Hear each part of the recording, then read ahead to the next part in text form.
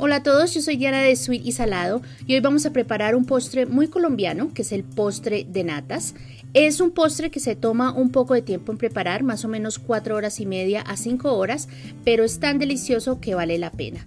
Como siempre, el enlace de esta receta lo pueden encontrar al final del video y en la casilla de información. Este video es un colaborativo que estoy haciendo con el canal Baking Day, que es un canal de dos muchachas mexicanas divinas y muy divertidas y ellas van a preparar coyotas mexicanas. Así que les voy a dejar el enlace en la casilla de información. Para hacer este postre vamos a vertir un galón de leche en una olla grande y luego la vamos a dejar hervir a fuego alto. Ya cuando la leche empiece a hervir vamos a reducir a fuego medio bajo y con la ayuda de un tenedor vamos a empezar a retirar la nata que se empieza a formar en la superficie de la leche. Retiramos la nata y la colocamos aparte. Cada dos minutos más o menos van a ver que la nata se va a formar en la superficie y solo tenemos que colocarla en el centro para poder sacarla.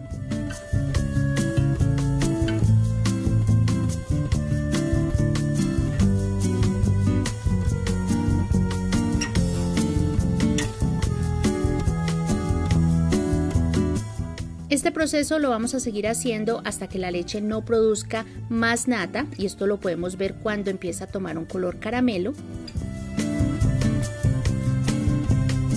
Y este es el total de natas que pudimos sacar de un galón de leche. Luego vamos a batir yemas de huevo con un poquito de agua. Vamos a utilizar un batidor eléctrico, pero si no tienen un batidor, pueden hacer esto en la licuadora y batimos hasta que las yemas cojan un color amarillo claro.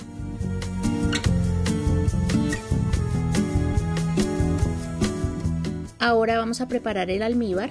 En una olla mediana colocamos agua y también colocamos azúcar blanca.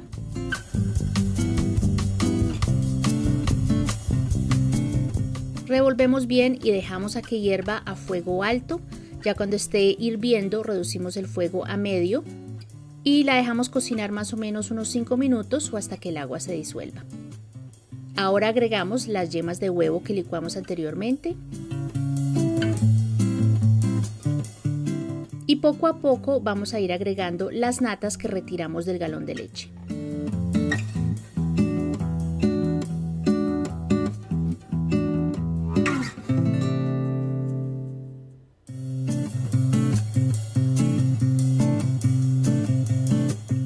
Luego dejamos a que empiece a hervir y ya cuando está empezando a hervir ya está listo.